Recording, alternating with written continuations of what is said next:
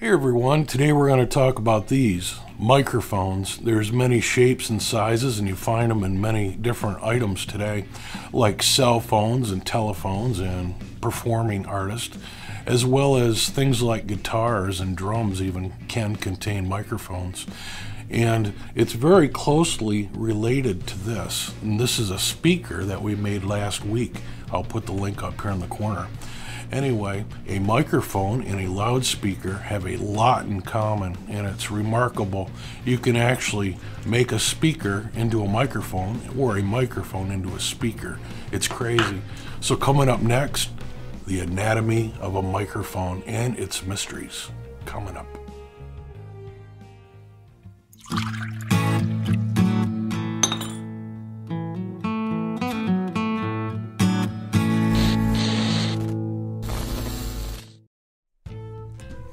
Let's go ahead and draw a quick illustration of how this type of microphone would work.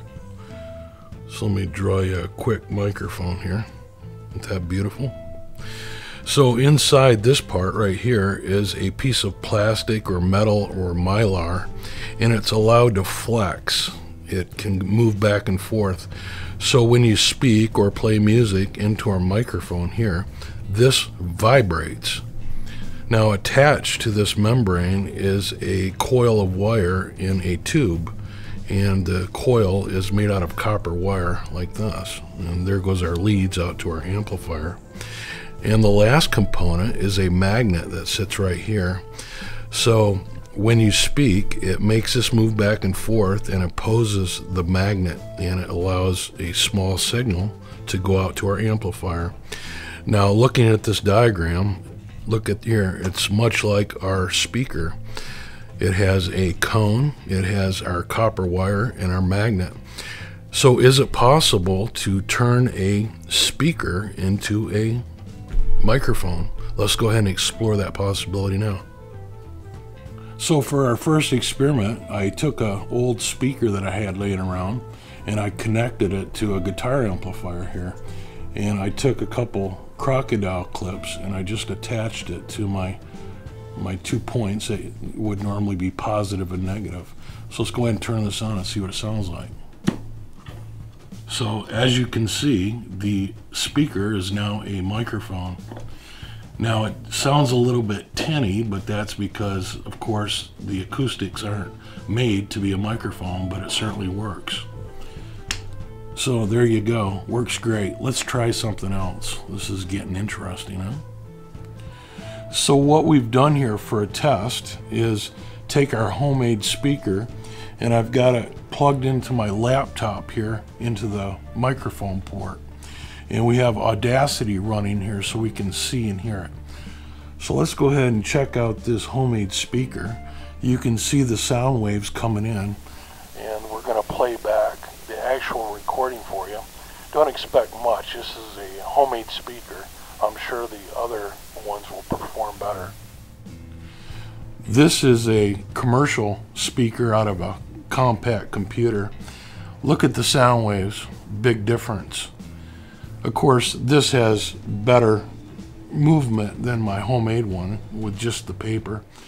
So this is probably quite adequate actually for a microphone and it's just a regular speaker. How neat's that? I should also add that swapping these around, it, it didn't sound as good at first until I swapped these cables around. So positive and negative do matter and you might want to, if you're not getting good quality, swap them around. Let's try something else. Okay, so now we have a pair of earbuds and it's stereo actually. Look at here. Testing, testing, and we're using each channel of the earbud. Let's take one away and see. Okay, this is just one channel of the earbud. You can see the top line is a lot louder. Now let's switch. Okay, let's go with the bottom. There we go. I think that's the left channel. Now let's put them together.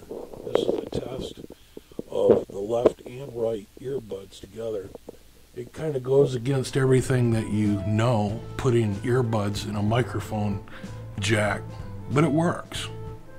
It really works. Let's try something else. Well, this is strange. Look at this. Hello, this is a test of my This is a test of my headset that we use for editing.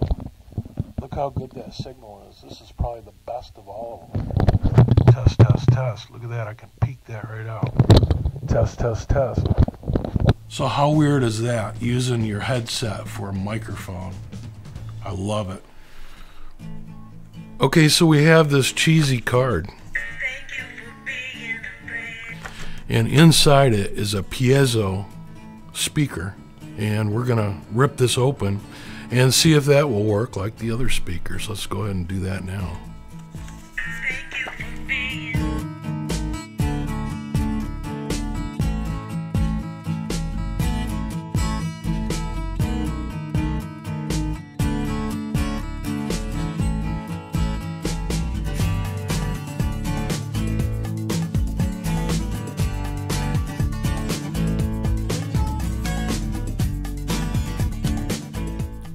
So there it is.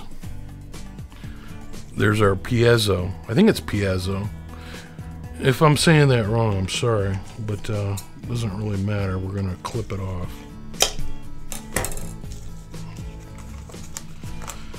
And this works a little bit differently than a regular audio speaker. This actually has a crystal in it, a piezo crystal, and when pressure is applied, like sound pressure, it uh, changes the electrical characteristics. Let's go ahead and bare these wires and uh, hook it up and see if it uh, reacts the same. I've got my little card piezo speaker hooked up to the uh, Audacity again. Let's go ahead and get a listen. I don't expect it to be as good as the speaker because it is a different type, but I've got an idea for this. But uh, let's go ahead and see what this sounds like real quick.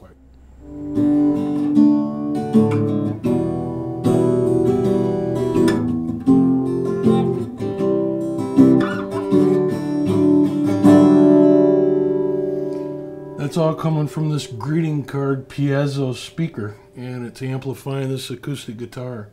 And as I said earlier, you could even put it in a drum set.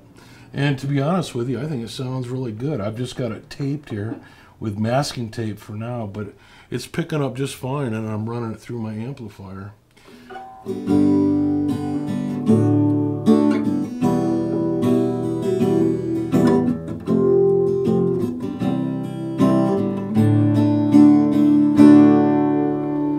Little free bird. Anyway, thanks for watching. Leave your comments below. Let me know what you think.